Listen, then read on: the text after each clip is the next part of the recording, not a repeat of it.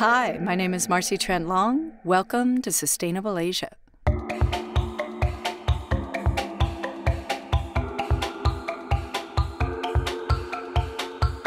This is the Plasticity Podcast, made in collaboration with Ocean Recovery Alliance.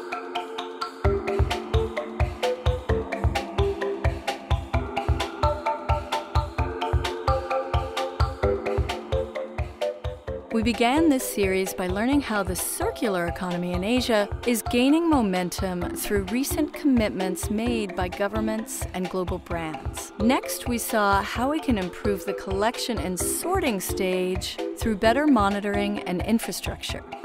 In episode 3, we talked about removing contamination from the waste streams to make recycling easier and more profitable.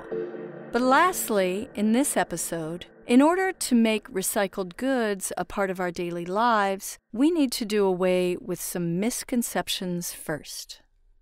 With consumers, there tends to be, even to this day, a, a common misconception that, that recycled material or recycled content is somehow an inferior quality.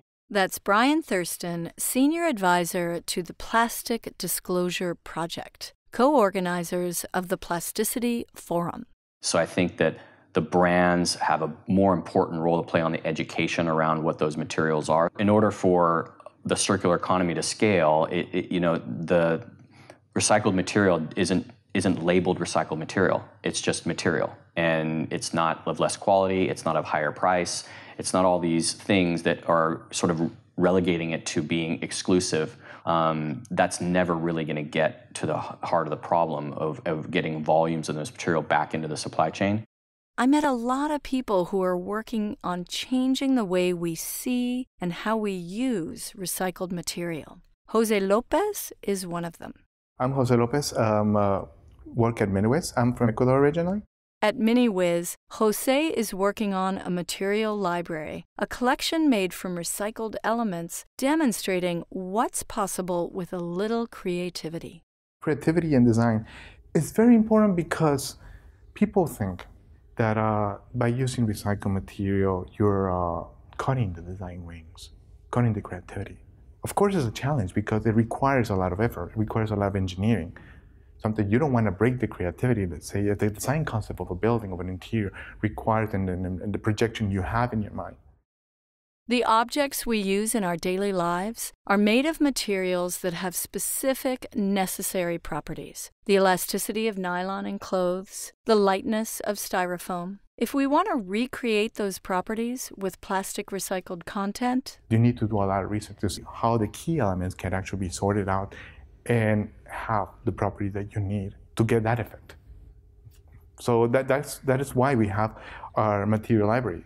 That's why we created 1200 materials, because every single material will obey to a specific case, in a specific finish that we want.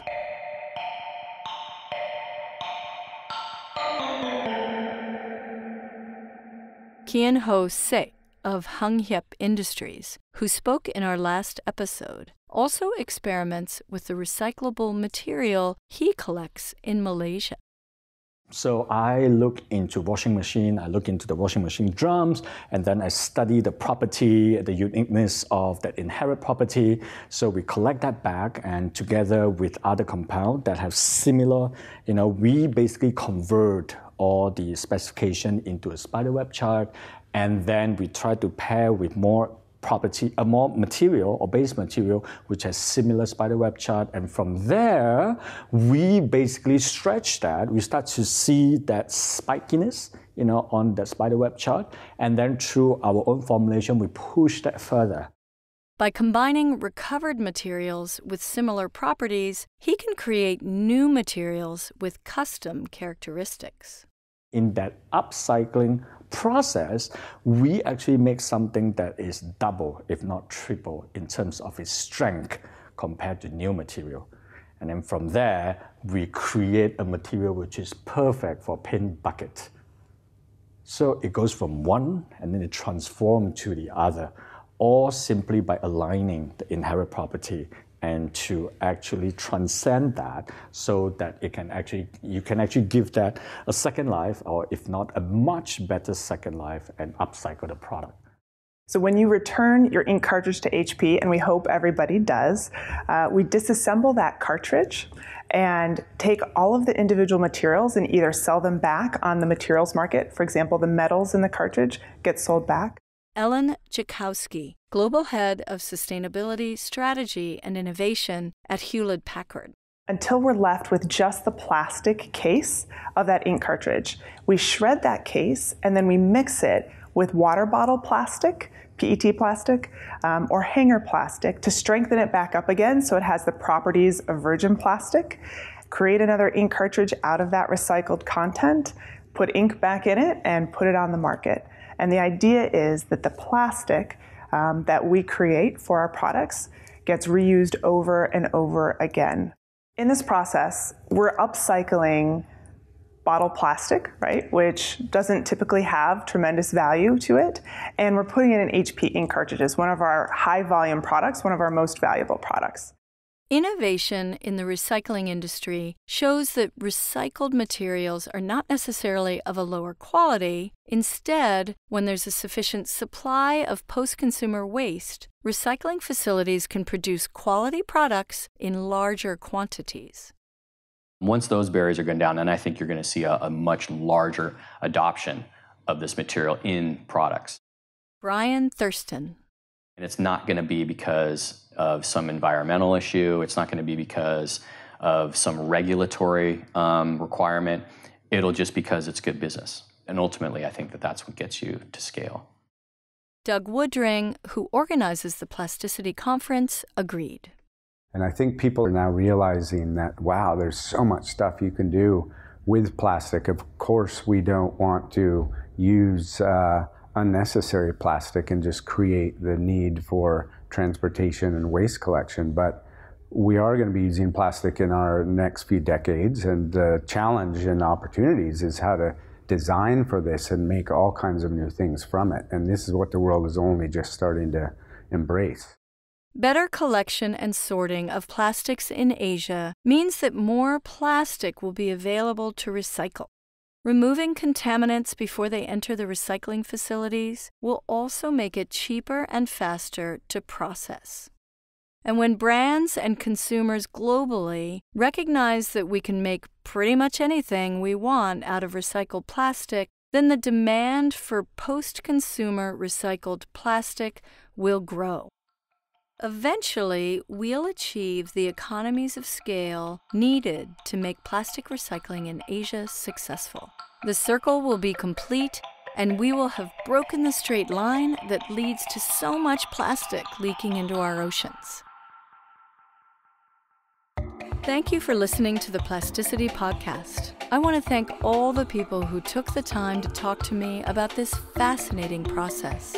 For those of you who want to be a part of the growing plasticity movement, the next Plasticity Conference will be in Fiji.